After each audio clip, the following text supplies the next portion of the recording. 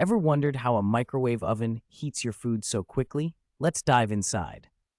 The heart of the microwave is the magnetron, a powerful vacuum tube that converts electrical energy into high-frequency microwaves.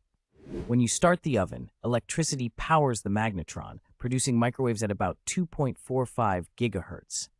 These waves travel through a waveguide into the oven cavity, where they bounce off the metal walls.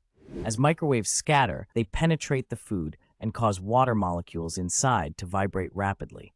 This vibration generates heat, cooking your food from the inside out.